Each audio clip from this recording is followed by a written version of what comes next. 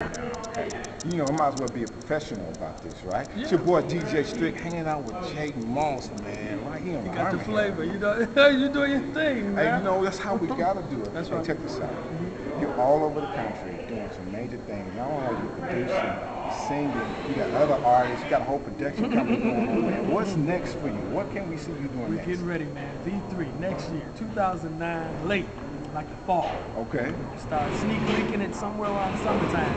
So keep your ears. Now you know you're gonna get exclusive. Oh, that's what I want. Now you know you That's know you're gonna get That's what I exclusive. want. But yeah, we'll start dropping the leaks, man. Some sometime around summertime.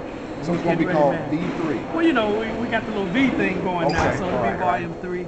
Uh, not gonna really leak how we going yet, Okay. but some people want us to go live. We'll see. We'll see. We're not saying that yet. You know, when I play your music, you know, not only am I playing your album right now, Me Too, but I'm playing 2103. Mm-hmm. You know what I'm saying? I play some of your music from Kiki, the album. I, I mean, I could just play J Mark all day long. Mm-hmm, You know, you make so much music, man. How does it feel when you go across the country and not only your music, but you hear the production and the writing you've done all over the country? How does that Oh make you man, feel? it's crazy because for one, uh, we just got the news that 2103's Cover Me song nominated for a Grammy, so that's a big thing. Oh, That's good. Getting ready for Kierra's record. Uh, Right.